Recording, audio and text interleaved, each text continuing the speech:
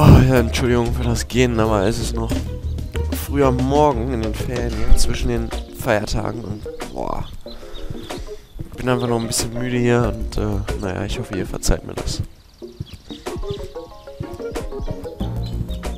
So, gekonnt jetzt Das hier ist den Wenzels Laufweg. Haus. Der wird ganz schön Augen machen, wenn ich ihm von meinem Abenteuer erzähle. Er wird sich grün und blau ärgern, dass er nicht mitkommen wollte. Er wird sich schütteln und Heulkrämpfe bekommen. Warum bin ich nur nicht so cool und risikobereit wie du, Rufus? Ich würde auch gern so krasse Sachen erleben. Aber tief in seinem Innern weiß er längst, dass er nicht das Zeug dafür hat. Das wird ihn in eine tiefe Depression stürzen. Oh Mann, ich hoffe, er ist zu Hause. Ist er nicht? Wenzel? Oh, schade. Hey Rufus, schon zurück? Das ging diesmal aber wirklich schnell. Sag nichts. Ich hatte es diesmal wirklich schon geschafft. Leider kam mir wieder einmal meine Menschenliebe dazwischen. Ach ja, diese verfluchte Menschenliebe. Immer steht sie dir im Wege, nicht wahr? Du sagst es. Du kommst ja zu nichts mehr. Es gibt einfach zu viele Menschen. Man sollte sie alle...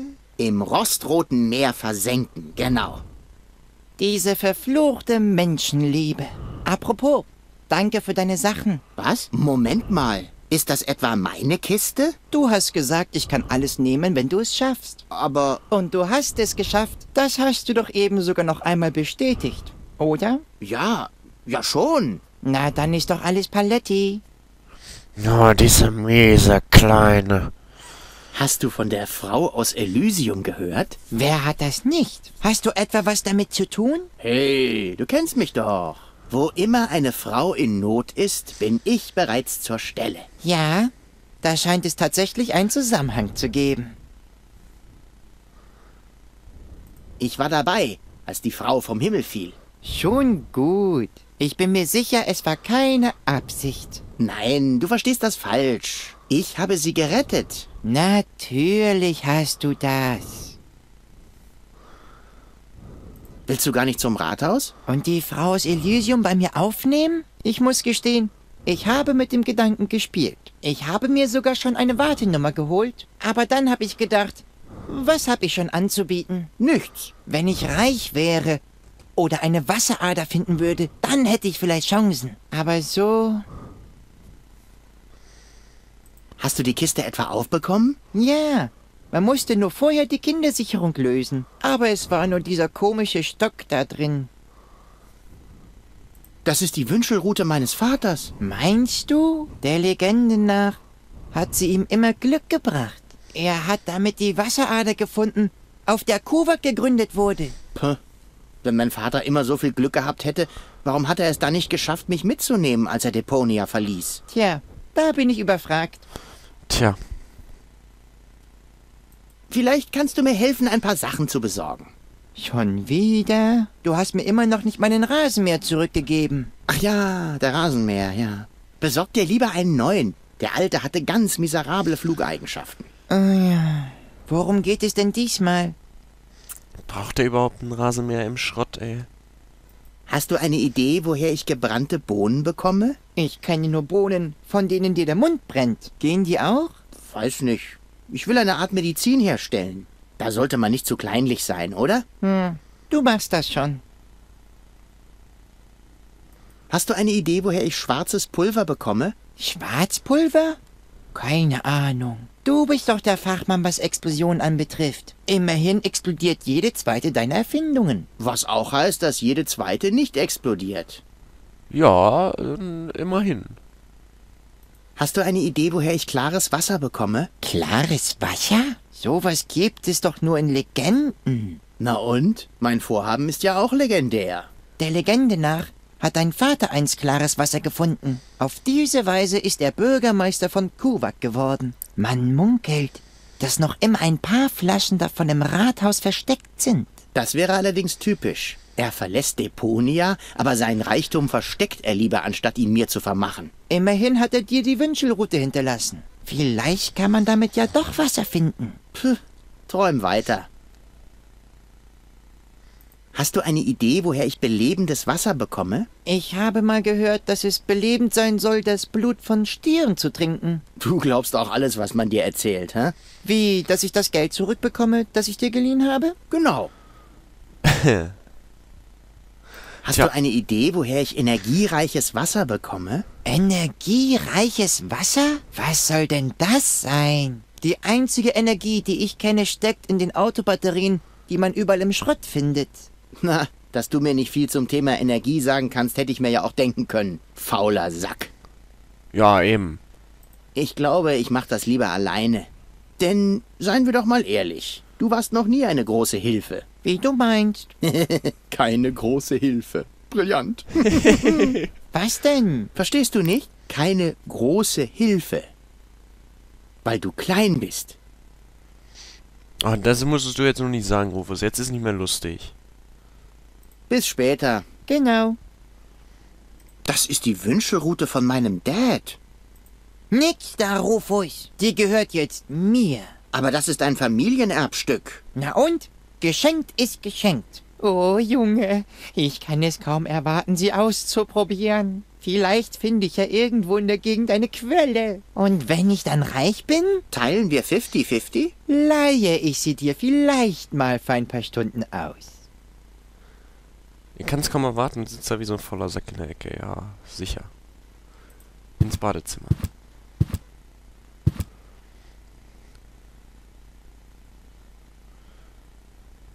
Oh.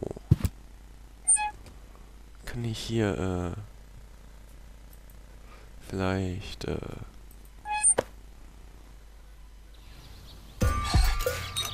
Ach, verdammt. Irgendwas, damit das hält? Haben wir ja nicht. Schade. Oh, warte mal. Er ist aufgedunsen, er ist nutzlos und er hat einen Schwamm in seiner Küche. Ist das nicht im Badezimmer, Rufus? Na gut, dann können wir wieder zurück. So, dann wollen wir nochmal ins in, äh, in den Keller.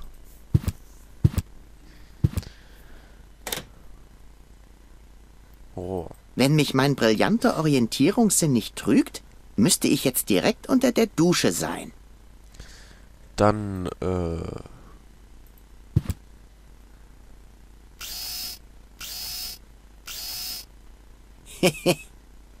Hehe. So, äh, hier haben wir äh, nix. Ja, gut, dann können wir wieder raus.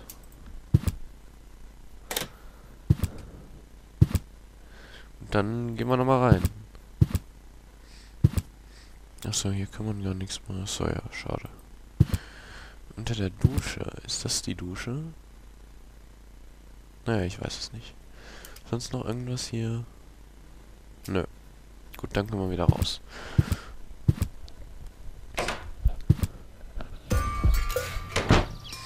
Dann können wir hier mal in Tonis Laden gehen. Gucken, was die uns so für Lügen verbreitet hier.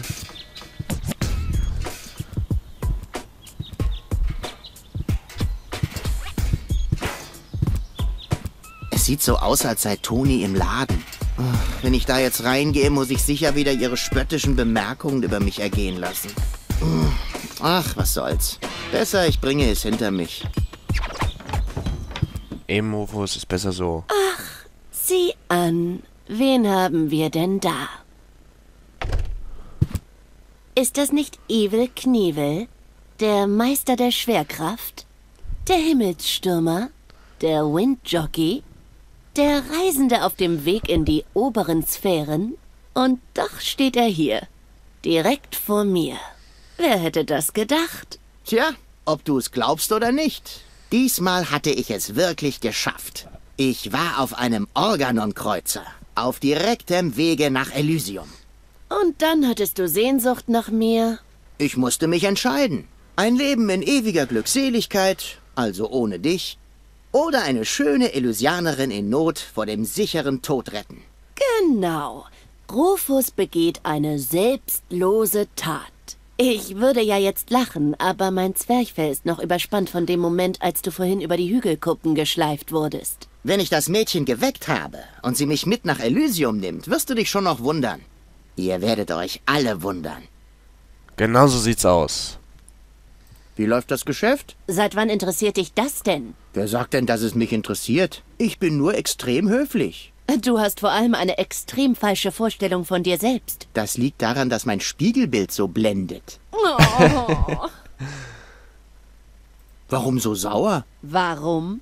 Du hast meinen Briefkasten zerstört, meinen Hinterhof verwüstet, meine Vorräte aufgefressen. Und wenn ich herausfinde, dass das Verschwinden meiner Lieblingsstiefel irgendwie mit dem Bau deines komischen Fluchtapparates zusammenhängt, dann gnade dir Gott. Irgendwo drin musste ich doch das Schwarzpulver transportieren. Was? Ach nichts. Ich würde gerne etwas kaufen. Von welchem Geld denn? Oder hast du jetzt neuerdings einen Job, von dem ich nichts weiß? Ich würde dir das Geld ja auch zurückgeben. Oh.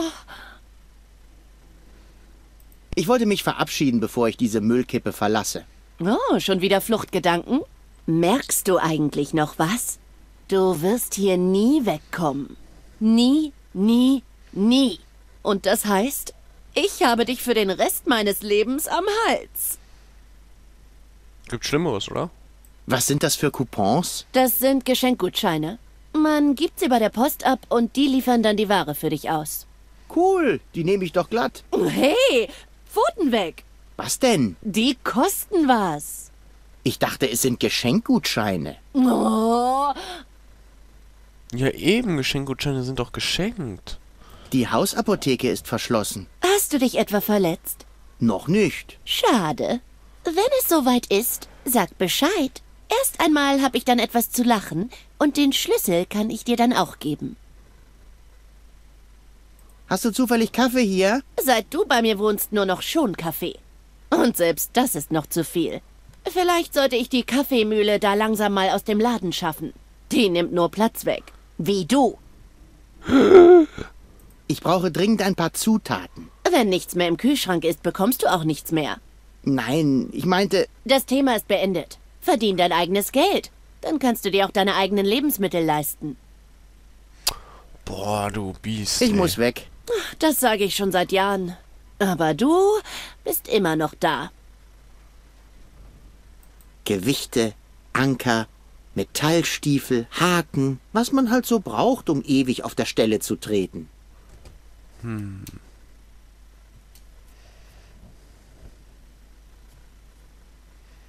Da ist ja nicht einmal mehr ein Krümel drin. Ich muss wohl meine eigenen Zutaten besorgen.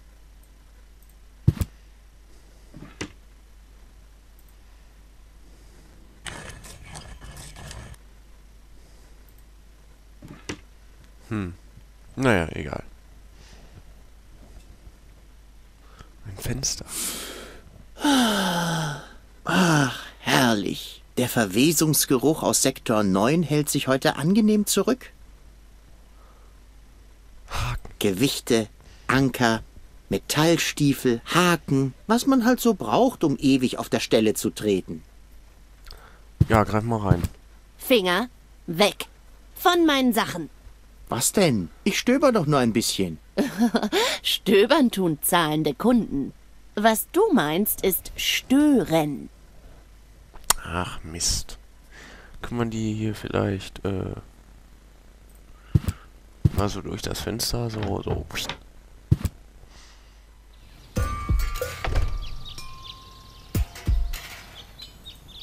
Von wegen Arbeit. Sie sitzt nur rum und dreht Däumchen. Das kann ich auch. Also hier so, äh, so, hier, äh... Ich kann Toni doch nicht einfach mit Sachen bewerfen. Ohne Zielhilfe würde ich sie glatt verfehlen. Das würde sie nur noch wütender machen. Zielhilfe. Egal, gehen wir mal zu Tonys Hütte.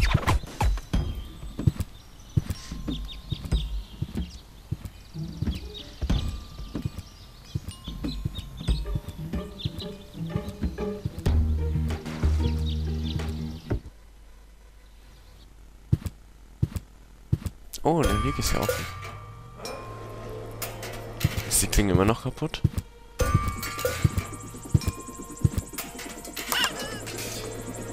Ja. Toni hatte schon immer einen seltsamen Geschmack, was Blumen anbetrifft. Können wir die jetzt nehmen? Autsch! Heiß! Ah, da habe ich doch hier so ein...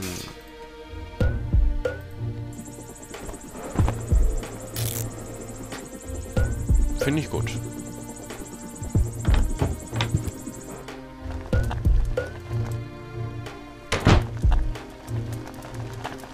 Können wir da vielleicht mal den... Oh, jetzt habe ich eine Idee, was wir mit dem Schwamm machen können.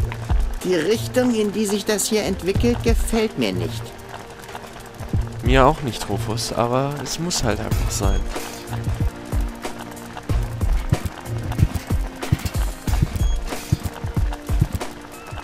Und da können wir immer noch nicht rein, ne? Verschlossen. Den Schlüssel muss wohl Toni haben. Mist. Müssen wir uns jetzt irgendwie verletzen bei ihr. Oh, und den Seitenschneider können wir nicht nehmen, ist ja blöd.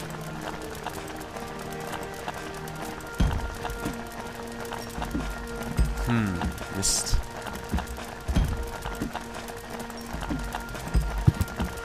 Mal wieder runtergehen. Können wir hier irgendwas...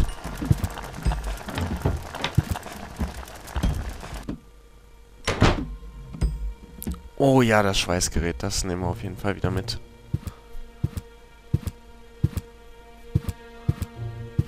Oh, ein Blindgänger. Ach komm, es kann doch nicht so schwer sein zu explodieren. Ich schaff's doch auch immer wieder. Eben. Und jetzt weiß ich auch, wo wir Schwarzpulver herbekommen. Na, wer sagt's denn? Schwarzpulver. So, das hätten wir schon mal. Chilischote, was brauchen wir noch? Oh, die Chilischote war die heiße Bohne. Oho. Schwarzes Pulver haben wir doch. Ja, ist ja komisch. Naja, egal. Schwarzes Pulver. Hm, Hm.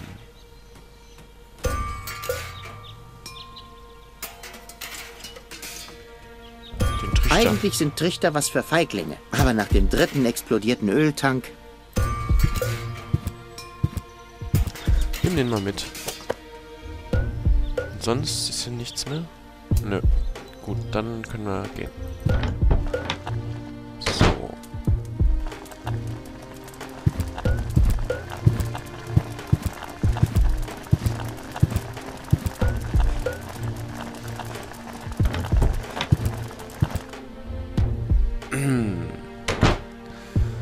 Wieder hier rein.